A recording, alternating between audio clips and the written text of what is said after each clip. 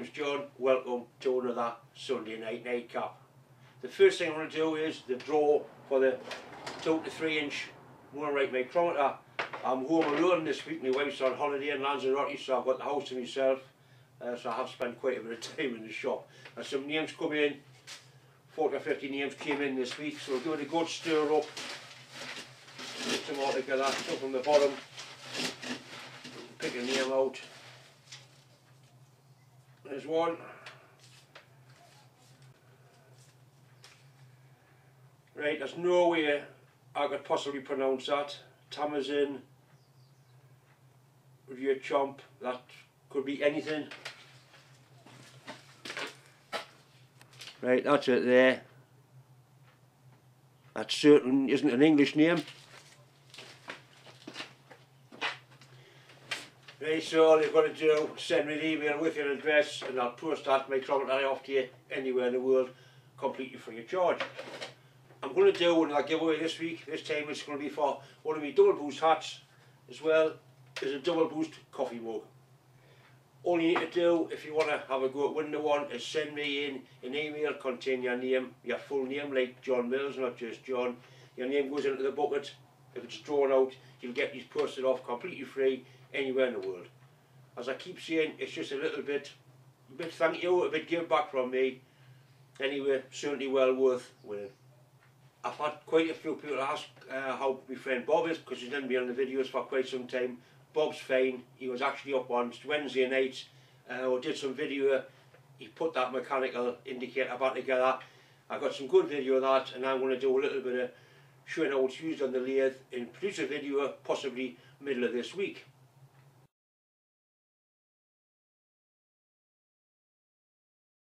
So touch it off.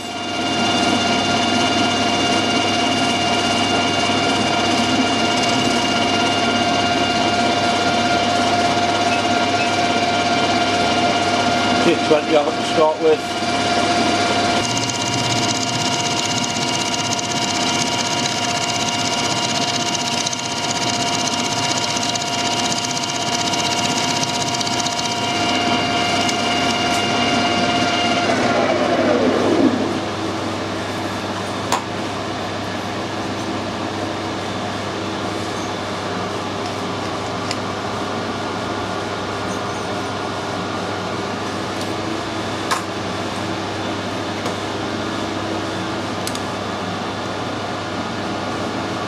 Well, this looks better. Right, so that's actually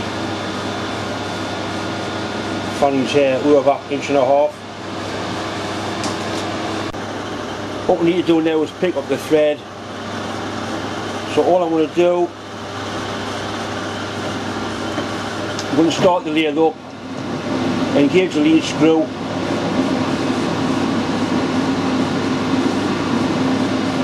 right, stop the lathe. If I wind it in you can see the tool isn't going to go into the into the thread.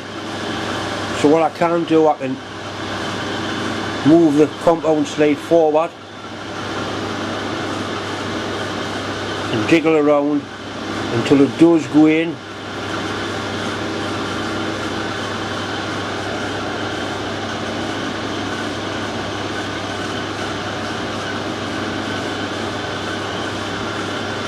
That looks pretty good there. We'll wind it back out.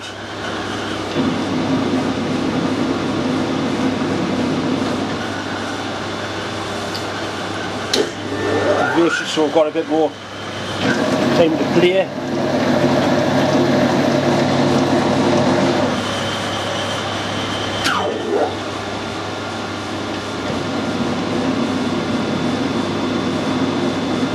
Right, stop it again.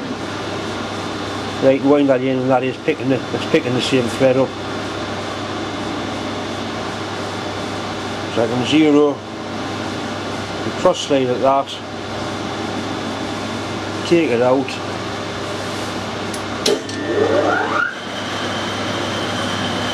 reverse the lathe, back to zero,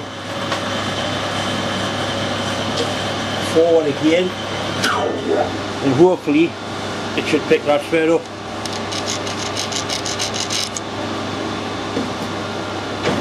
We'll soon find out. Yeah, there's. So that's how you can pick the thread up and pull yourself out of the shite when you haven't been paying attention.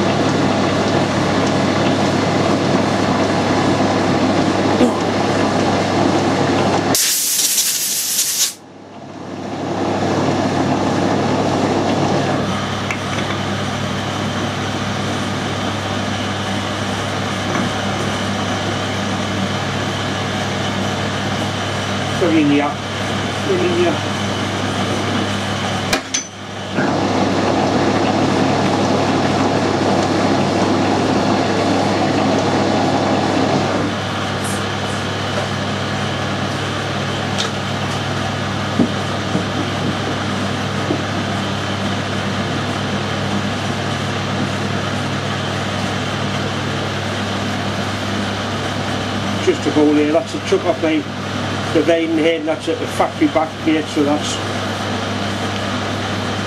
take one more cut on the same setting and then we'll settle for that.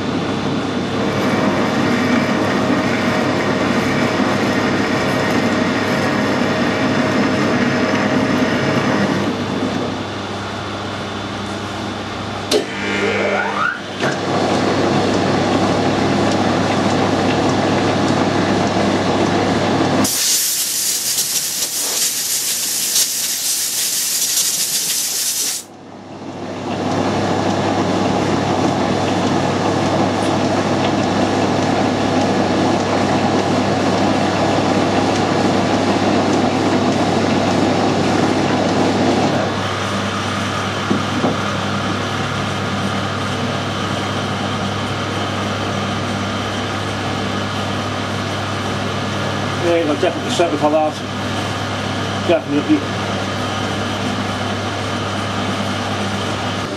just for a laugh, we'll have a, a clock gauge on here.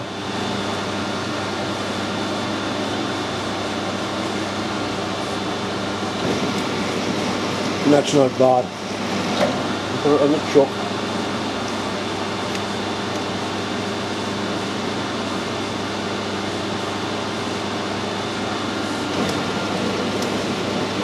That's not bad at all. I'll put some in the chuck and we'll try that just out of out of interest really.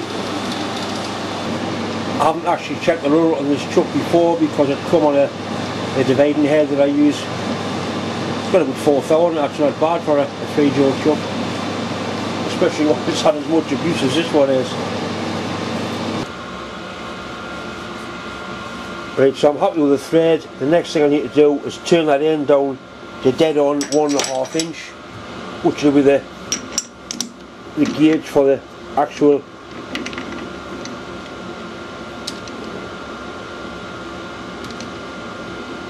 in last week's video I showed setting this micrometer up uh, using a, a test piece. I actually had the test piece in that way around I'm not quite sure what I was doing but I'm looking at the top of a camera but I can assure you when you put it in that way around you get exactly the same result which is zero. That's one inch that way. If we're going to make micrometer up we'll put it in that way. All I was looking at was a 25 on the spindle which is there. And so we've got zero that way. Exactly the same reading.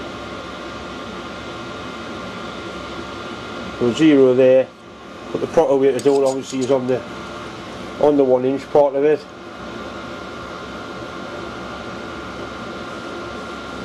So we use a ratchet and that's bang on.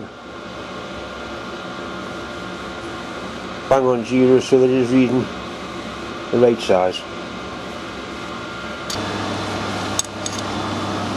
Just because I can, here's a 2 inch one, 2 inch one, once again exactly the same reading, zero.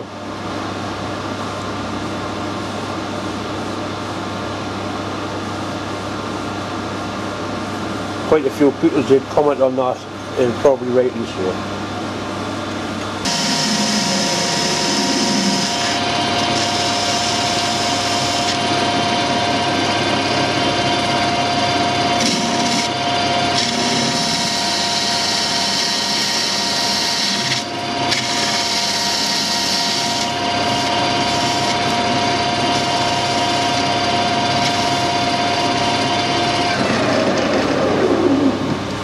maybe an inch and a half.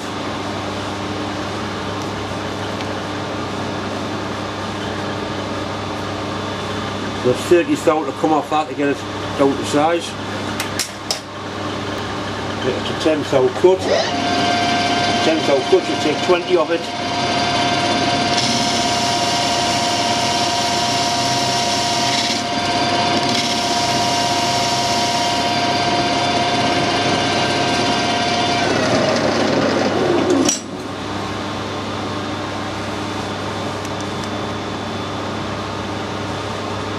Right, in the corner of that, that's 15 thou.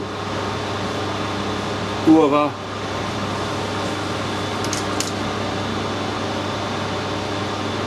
We're going to make into play, which is a lot lighter than the, the vernier clamp.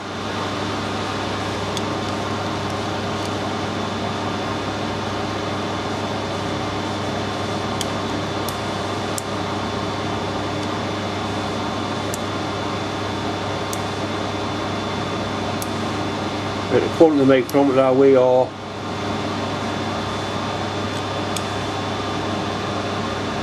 Five thou of our size.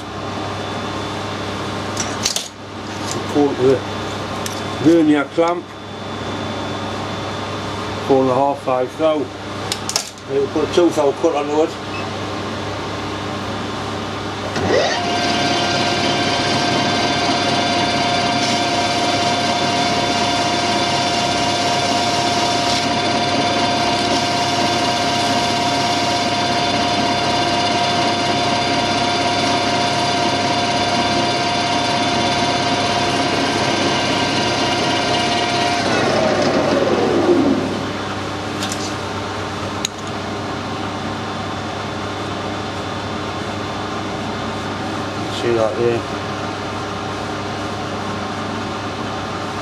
Once I wonder